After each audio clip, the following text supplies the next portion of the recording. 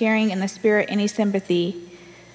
Complete my joy by thinking the same way, having the same love, being united and agreeing with each other. Don't do anything for selfish purpose, but with humility think of others as better than yourself. Instead of each person watching out for their own good, watch out for the better of others. Adopt the attitude that was in Christ Jesus. Though he was in the form of God, he did not consider being equal with God something to exploit. But he emptied himself by taking the form of a slave and by becoming like human beings. He found himself in the form of a human. He humbled himself by becoming obedient to the point of death, even death on a cross. Therefore, God highly honored him and gave him a name above all names, so that at the name of Jesus, everyone in heaven and on earth and under the earth may bow, and every tongue confess that Jesus Christ is Lord, to the glory of God the Father. It's the word of God for the people of God. You may be seated and let us pray. Gracious God, as we gather in this place, allow these to be your words and not my own. Allow our hearts to be open to see you and understand you and who you have created us to be in a new way. Amen.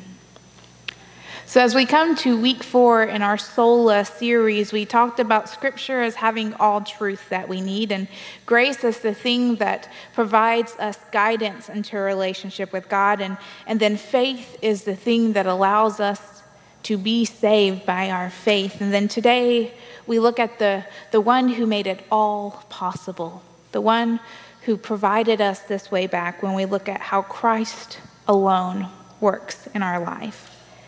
Throughout Scripture, we see that Christ alone is a teacher and Christ alone is Lord. And most importantly, we see that Christ alone is Savior.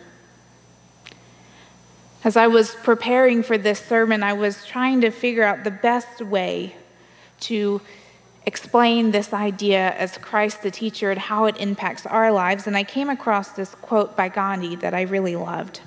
It says, Your thoughts become your words, and your words become your actions, and your actions become your habits. So when we are like Scripture and we have our mind of Christ and who we are and all of what we are is that of Christ, then our words are God's words. And those words lead to our actions, which are God's actions. And those actions lead to these habits that we develop, which are God's habits that draw us closer and closer into relationship with God. Now, this is easier to say than to do. I can speak for myself on this that there are times where I really wish I could say that my thoughts and my words and my actions and my heart were wholly focused on God. But I'm an imperfect person, and so that's not possible because there are times where I'm selfish and where I am not very humble and where maybe I'm not the most obedient. And in those times, God does not become my focus, but the world around me does. And it's in these moments where I most readily, and when we all have the opportunity to turn to Christ as a teacher who guides our steps and guides our entire life. Our scripture is full of passages of Christ teaching how to live, how to love, how to care, how to walk this journey. It's really all spelled out for us. And we see time and time again how Christ was the full living embodiment of Christ's teachings. As he walked this earth facing the scrutiny of everyone around him, he held to these teachings. He lived the life that God designed for all of us to live. He was and is that perfect example for us to follow. And we know that these lessons often came in the form of teaching the disciples, but as Christians, we know that that's not where Scripture stops. That it wasn't just intended for the 12 that followed him around, but that it was meant for all of us. That the parables that taught the disciples can teach us things, that the, the commandments that Christ gave his followers can trickle down from generation to generation to impact our lives, to help us to grow, to help us to be better. Our scripture this morning says, Complete my joy of being of the same mind, having the same love, being in full accord and of one mind. Do nothing from selfish ambition or conceit, but in humility Count others as more significant than yourself. Let each not look to his own interest, but to the interest of others. We see in just these two brief verses that the core teaching of Christ is here that we are called to love, to be together, to care for one another, to look out for one another as a family, and not to be looking inwards and loving only what we love and doing only what we want to do. We are called to live this life where we have to take on this cloak of humility, just as Christ did, to put ourselves aside and live as the person that Christ designed us to be. And the biggest joy in all of this is Christ has provided us a way to do this. We have the Holy Spirit at work in all of our lives who guides our path, who calls us home, who, when we fall short, or when we don't know where to turn, provides us guidance, is our carer. But when we look at Christ, we know Christ was more than just a teacher. We affirm in our creed and we believe that Christ is Lord. Now, this language doesn't mean as much to us as it did in the medieval time frames because lords and ladies were a part of their culture. But when we say Christ is Lord, we are proclaiming that it is Christ's authority that we submit to, that it is Christ who we give our life to, that is Christ who we are devoted to every step of the way. If you're anything like me, sometimes Christ as Lord gets lost in the haze of, well, I can do it myself, or I know what I'm doing, God, or trust me, I've got this one. But it's in those moments where we lean on our own self that we need Christ most. And it's in those moments where Christ makes Christ's self most available. To claim that Jesus is Lord is claiming that all of who we are, all of what we ever will be or have been, belongs to Christ for God to use to impact this world in whatever way God intends. If we look in Scripture, if we flip to John chapter 15, if you tuned in earlier, Ashley and I didn't know this, but she actually preached on this text this morning, and it was also a part of my sermon. But I invite you to hear this one verse. It's verse 5. It says, I am the vine, you are the branches. If you remain in me and I in you, then you will produce much fruit. When we abide, when we live with, when Christ lives in us, just like when we step out in faith and when we live into grace, we are able to accomplish far more than we ever dreamed possible.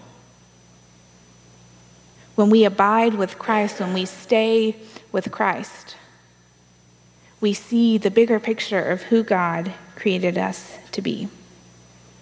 Because we recognize as Christ the Lord that Christ is the provider of everything we will need for ourselves and for the ministry around us, that Christ is the sustainer of all that we go through, of all that we experience, and there's nothing that we face alone.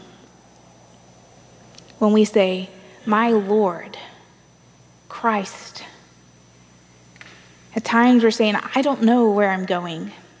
I don't know if this is the right path. I can't even see the road ahead of me. And I don't know for certain if I'm supposed to take this turn or that turn, and nor can I figure it out by myself. I, I don't have a map. When we say, My Lord Christ, we say, I believe in your desires are good and true. And I aspire for my desires to abide like yours do, to be in like mind like yours are. And I hope that I never do anything that goes against your desires. I hope that all that I ever do is who you have called me to be. When we say, Lord, we submit all of that to God. We can say, I trust you when I walk through the shadow of the valley of death. I trust you when I don't know where to turn. I trust you when everything seems lost. Because I submit all of who I am to you, including my worries and my fears. Now, beyond Christ as teacher and Christ as Lord, we get to focus on the biggest impact that Christ had for all of us, and that is Christ as Savior. Our scripture says, and being found in human form, he humbled himself, he took on humanity, and he became obedient, even to the point of death on a cross. Perhaps this is the most beautiful picture of submission to authority. Perhaps this is the most beautiful picture of Christ's love for God's people. It is in this that we get to believe Christ is Savior, that Christ is Savior for us as Christ has been in the past and Christ will be in the future. It is in this that we get to claim that we are free from the sins that drag us down. We are free from the things that hold us back, and that we no longer have to live a life of shame and darkness.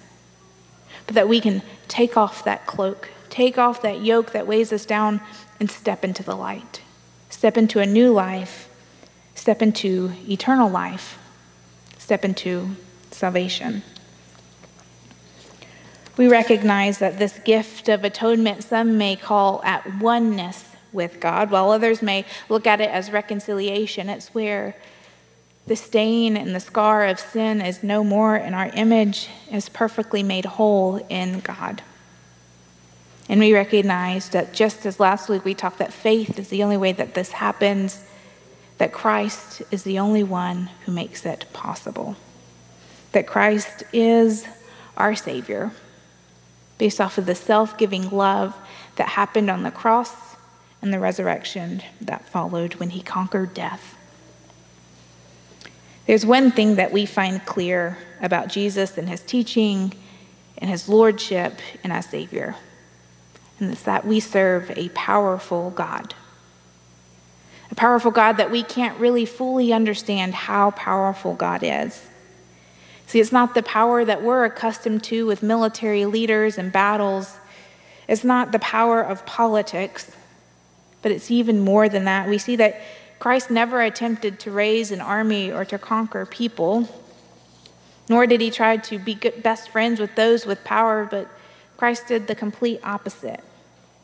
He intentionally sat with those who had no power at all. He intentionally walked with those who were viewed as nothing in society. He intentionally loved those on the margins. He intentionally served those who religious leaders had traditionally pushed out. He acquired no wealth. He acquired no power in the form of this culture's expectations, but still, who Christ is and what Christ did lasted the time to the fact that today we sit in a sanctuary and we hear about how God in Christ has changed all of our lives. And while the power of Christ is not what we expected, not what those in the early church expected, that power is still real in Christ.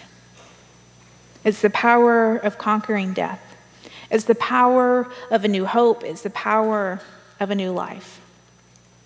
And today we get to see how this plays out when we share and watch in the two sacraments of the United Methodist Church, where we recognize that in baptism we have the ability to reject sin and the death that lays upon us and we get to enter into our journey as disciples. It's in baptism where we get to reflect on all of our individual journeys and how we get to help raise those around us in the church to know God, to know God as teacher in Christ, to know God as Lord in Christ, and to know God as Savior in Christ. And then we get to share in the Lord's Supper.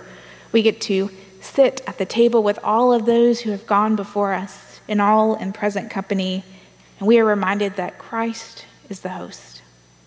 It is Christ who calls us forward. It is Christ who calls us into relationship. It is Christ who calls us family. And we get to participate in that invitation because God's immense love for us. See, when we think about Holy Communion, when we think about the Lord's Supper, we get to focus on the self giving love of God. We get to recognize God's grace and how grace alone changes our lives. We get to reflect on the sacrifice and know how Christ alone has changed our lives.